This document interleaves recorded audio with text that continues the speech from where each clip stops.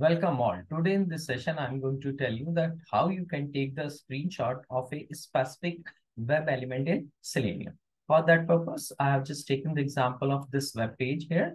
Or you can apply the same thing on any web application here. So in this page, you can say I have username, password, and a login button. So while running the automation, uh, I want to capture the screenshot of this particular login button. Okay, so we are going to write a code for that. So for that purpose, first of all, let me do one thing. I have already created a Java file and where I'm just writing a code to open a Chrome browser here. So, and the next line, what I have to do, I have to enter the URL of my page. So driver dot get and in the get, I'm going to pass the URL of my web page. So let me copy it from here. So this is my page. In this case, you can give the URL of your web application, whatever you want, in which application you are doing the automation here. So now here I've given the URL. Now after that, what you have to do, in your automation, whatever element you want to capture, you have to write the locator for that. Means you have to create a, a web element for that. So I will create a web element for that. So let me right click and uh, let me click on the inspect here. So I will click on inspect and here you will see this is the button. So let me write XPath for that. So that will be input. So it is totally depends on you that uh, what type of element and what element you are uh, you want to take the screenshot. So on the basis of that, you can decide your element and you can write the XPath. In my case, I'm just taking the example of login. So that's I've created here. So this is my login button uh, locator here. XPath is there. Now I will go to here and will create a web element uh, reference here.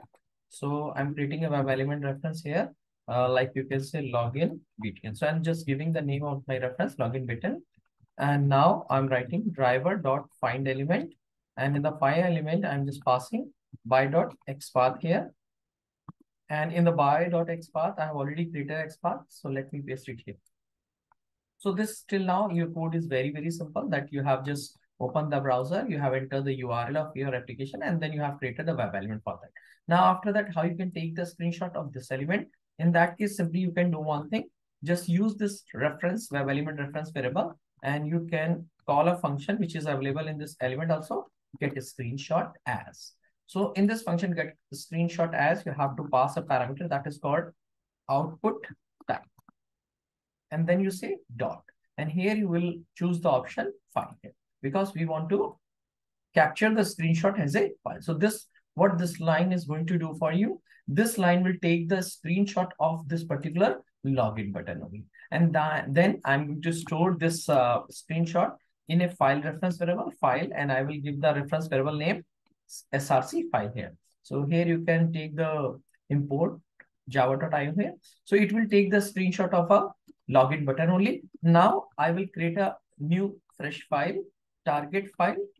So I'm just creating a new file so that I can copy the content of uh, my screen login button screenshot in this file. So I'm just creating a file here. So let me do one thing.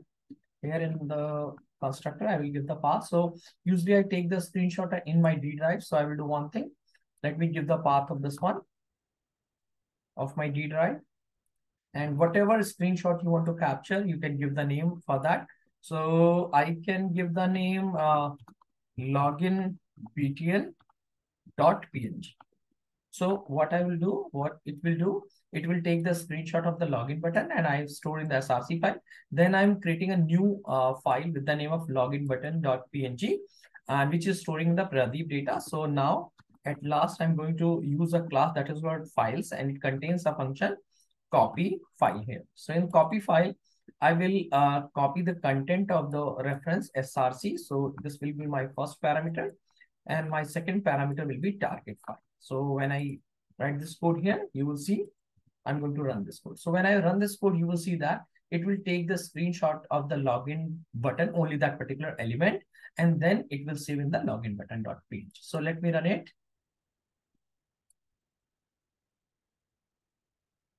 So it's running. So let me complete. Okay. This automation is run and completed here. Now we can go and check uh, my folder here. So here you can say in my folder, if you are able to see, there is a image which is login button.png. Let me double click on that. So you can see here, it is only capturing the screenshot of the particular element. So in this way, you can take the screenshot of any particular element in your Selenium. So now if you like the video, you can click on the like button. If you have any type of query, you can put in the comment box. And if you have not subscribed my channel till now, you can subscribe it. Thank you.